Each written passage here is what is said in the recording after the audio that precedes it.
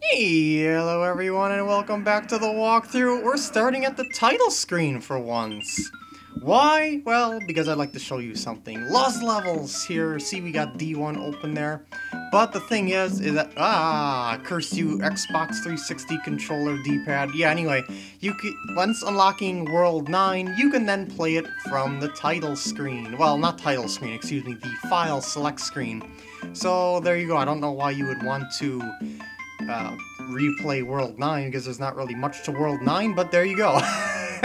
anyway, let's start World D1. This is actually technically a take two because of the fact that uh, I wanted to show off that thing in the title screen, and yeah, oh, not the title screen, excuse me, the file select screen. Why do I keep saying title screen?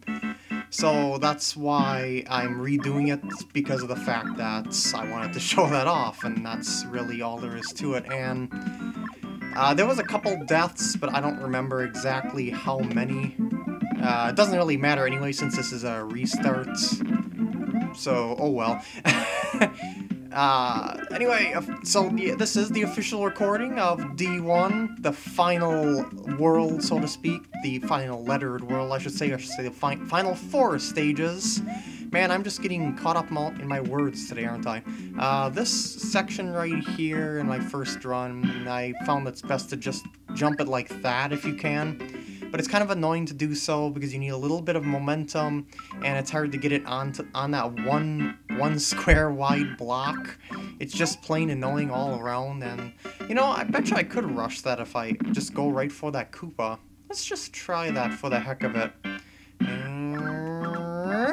Oh yeah, that works a lot better than waiting for the Hammer Brothers. Uh, is there any power-ups around here? I never, I didn't check this on my initial run, so um, this is still pff, as blind as ever. And I, it's clear that I haven't played this game in a while because I'm controlling it like poo. and oh, he wasn't supposed to be there. Let's try that again. There we go. Much better. That's that's my preferred line of attack there. Even if I die, it still doesn't matter all that much in the long run because of the fact that, you know, it's just so close to the beginning. yeah, maybe I should be checking those question mark boxes.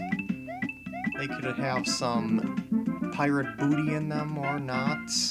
Hmm. I'll have to check the other ones on the other side if I die again. That's an almost guaranteed occurrence in this game. uh, I would like to... There we go. I wanted to scroll it a little bit so I can get that piranha Plant out. There we go! Oh, that was pretty dang close, too. Why? Oh my god! Why was he there? There's like... There's no way to prepare for that. Uh, unless maybe I can move the screen over a little bit, like right off at the start. I mean, not it's not at the start, excuse me, right at the green pipe. I guess we'll see once we get back over there eventually, and ugh. Another freaking luck-based parts. Right at the start. Yeah, that's not gonna work for me, is it? I have a feeling World D is going to be ridiculously difficult, and is there really any way of getting past those guys quickly? Is there any way to do it strategically? Like, see that guy on the bottom there, he seems to move forward towards you. Then again, the guy at the top seems to do that as well. And, and you know, when there's moving Hammer Brothers, wow. Uh, the best way to beat them is just to go right past them as fast as you possibly can. And you know, I have to say, this game is ridiculously hard in every single possible way. it's way, way too hard, and maybe it wasn't a very good idea for them to release this in America like I originally thought they should have. Uh, or at least at the time when they held it back.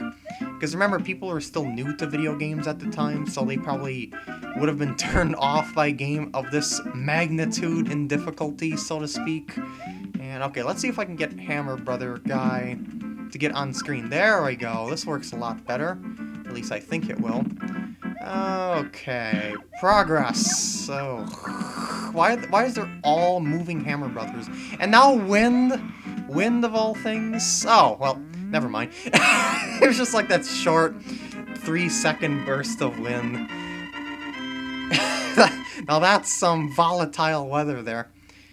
And and we always say that the weather changes very quickly and anywhere around the world or can change quickly. Well, in the Mushroom Kingdom, it changes faster than any other place ever. Uh, this this stage reminds me of something. It really is really reminiscent of some other stage that I've played. Well, maybe not. I don't I don't know really. Just that beginning section when I was jumping with the piranha plant pipes, I should say between the piranha plant, but I was right at the end. Oh.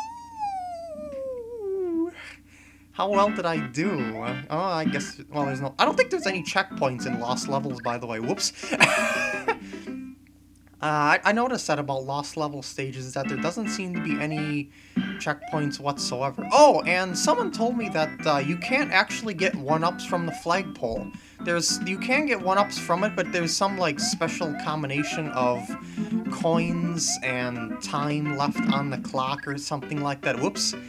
I, I forgot the whole combination. I, it, but yeah, that's probably the reason why I haven't been able to get one-ups off the flagpole was because you simply can't.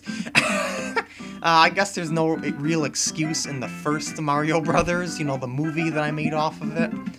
Uh, but otherwise, yeah, in this one, you just can't seem to be able to do so. So that explains it all together, and that makes me quite happy that I'm not missing the mark. anyway, we're at the end of the stage once again. Urgh, I need to have, like, the right forward momentum to get on top of that block next to the flagpole. This stage is pretty easy, actually, except for the fact if you, you know, run right into the Koopa's head and he kind of bites your foot or something like that. But otherwise, this one is really easy. Heck, even D1 was pretty easy compared to other ones. Or at least that's what it's seeming seems like, excuse me. Uh, D3 and D4 are probably going to demolish me, just because I'm saying this. uh, and that's really all I have to say about that. This, as you see, I'm not. It's not really hard to get past any of these obstacles consistently, even when you're rushing through them. You know, I wasn't checking any of these boxes. There might be some goodies. No, I'm not gonna go up that vine, because I know the end of the stage is like right here, and yeah, I, I really don't want to. Yeah. Of course, I would mistime the springboard of all things. We're back here with ease, so... And dang, what is with that? It's like, once you get up in the air and you're pushing forward, you can't stop your forward momentum. I guess that's a part of this game's physics. As I said, I never liked Mario 1's controls. Never have, never will. Oops. But the fact that it's to jump on top of a one square block is ridiculously annoying, to say the least, with the springboard. So that is going to be another one of those luck-based factors, I think, though I'm sure people could do it consistently, because it's a feel thing. But still, it's, ugh, I don't like the controls. And here we are at the end already. Alright, maybe I'll, maybe I'll try with, like, no forward momentum, or very little forward momentum. Hmm. I'll have to try with just a little more to get up on the block next time I reach that spot. Yeah, there's like no opposition in this stage whatsoever once you know what's coming. Okay, so I'm gonna try jumping at it from like this distance away and push forward. Oh! Ah, here we are again. So let's get ourselves a little bit distance and... and here we are again with no problems whatsoever. Curses! Now I can speedrun this dang thing. yeah, you pretty much just run forward and jump when you need to. Okay. And... so hard to touch that one little block. I bet you they put it at, like, just the right spot. Just so that it's, like, right in the middle of your springboard momentum, so to speak. Like, when you... There's probably, like, a, a middle ground, so to speak, of the momentum that you have, and you gotta use that to your advantage on that spring. And I'm trying to get the feel of that, and see, like, that one I ended up being short, and I, I don't know what the exact feel of it is, so maybe what I should try doing is just, like, uh, running and jumping at the spring as fast as I possibly can or something like that. That could be another option. And you know, like try and skip that one block whatsoever, the one square block whatsoever. It's not like it's, it's an intimidating jump or anything like that. It's just the fact of like maybe you can do that. That seems to be like the most consistent method that I could use, but I would end up hitting the bottom of the flagpole, of course. But if you're not getting one-ups from the top of the flagpole, who cares about points anyway? it's like points and lives are meaningless in this game whatsoever because it auto-saves after every level. Unless you're like going for a world record high score or something like that, but uh, that, that would be like for the most elite of all Mario players, so to speak. Wow! Same thing. I bet you it's just far enough away that I can't do that. Okay, gonna have to keep trying. Well, here we are again. The culprits. The springboard. How's it going, buddy? Will you help me to the finish line this time? I really hope you will. I hate you so much. Here again. Okay, what's it gonna take to bridge this gap anyway? I mean, I, I went onto the springboard with different momentums and I still end up missing it. Yep, here again, no trouble. Well, my last method worked, jumping at it from like this distance away. Oh, oh, oh, yeah! About time. Uh, I think I'm gonna do one more level in this part and then just leave off the last castle for the final part. Because I think this part's gonna be lengthy otherwise. Oh, dear lord, no! Hold on. Alright, D3. This is looking a lot like if you oops, if you recall uh 8-3 of the original Mario Brothers with this background here, and that is never ever a good sign. I bet you there's how the heck did I hit that bullet bill when I hit that box at the same time? I, oh god. Yeah, it's gonna be one of these dealios. I'm just gonna have to, like, run through this. Yeah, because they are the kind of ones that will follow you to the ends of the earth. And that will not end pretty, that's for certain. Okay. Whoop. That wasn't that bad, I guess. So far. I should say for that springboard. At least not in comparison to that last level. Oh man, I lost all my forward momentum. Okay, that wasn't too bad of a run. I definitely think that, I think there's a little bit of memorization involved with this level, which I'm not a fan of. As you've known before, I've explained this before, but it does seem fairly manageable. Like, you got the power-up for those Hammer Brothers there. Uh, you can wait around for those guys, like, uh, I guess you can't. Uh-oh. Wait, what, what, what is... Was there like a Hammer Brother gonna be over there or something like that? That there's an invisible coin block of death? Because you know how they love to do those Kaizo trickery traps. Oh yes. Anyway, I hope there won't be another Hammer Brother there. Oh, dang it. I didn't mean to do that. Bad timing for the bullet there. Well, I shouldn't say it was bad timing. It was bad positioning.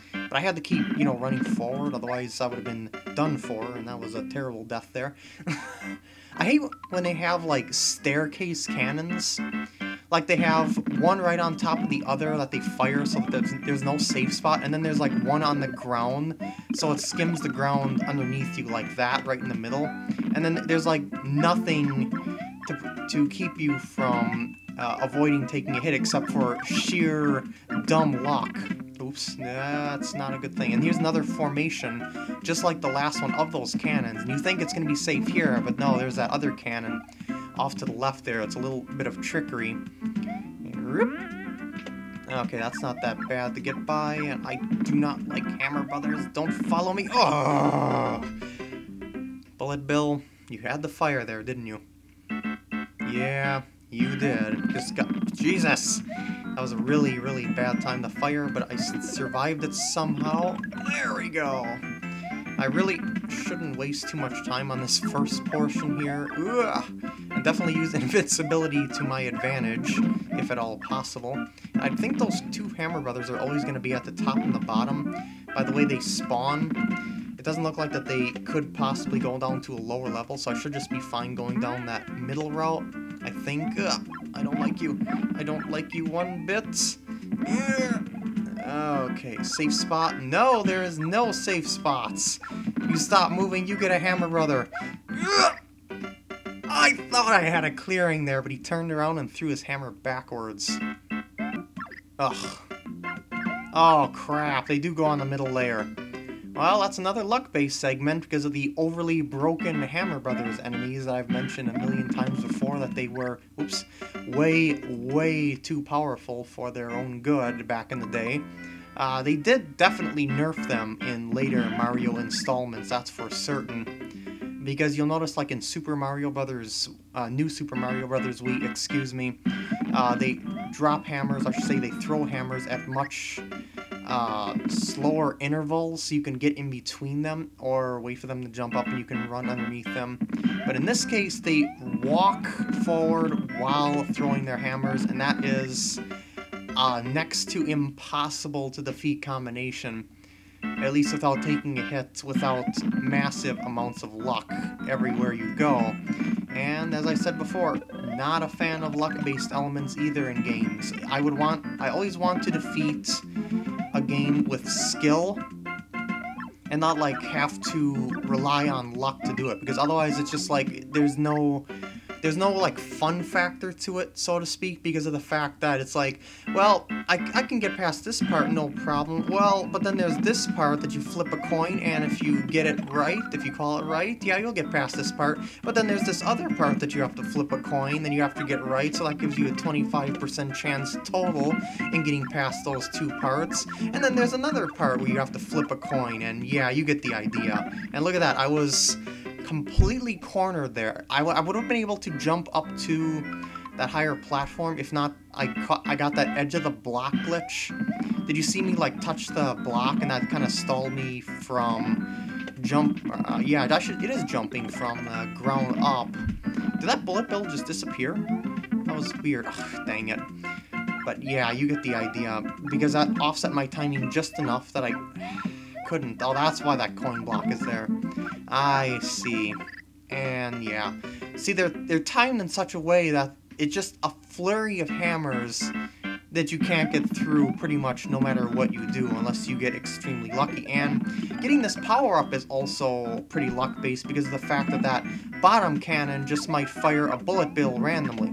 As I've stated before, bullet bill cannons in the original Mario Brothers, they fire at complete random, and they can they can fire two bullets in really fast succession, or they can fire nothing in a, bunch of seconds. So that's another big factor of the uh, sort of unfair nature Mario 1 has, as opposed to other Mario games of which they balance this out. They definitely did a good job of improving this game, or I should say this game mechanic, so to speak, and should have jumped on top. Oh, okay, I made it anyway, I guess. Um, oh, this is not an ideal setup, that's for sure. Because any of those top cannons can fire at any time. And am I near? Oh my god, oh my god, yes! I hope you enjoyed this part, and I'll see you in the next part. I'm gonna end it off here while I'm on my good streak, I guess. That's why I'm ending it off so suddenly. Toodaloo! Fireworks. Even they're happy of my victory.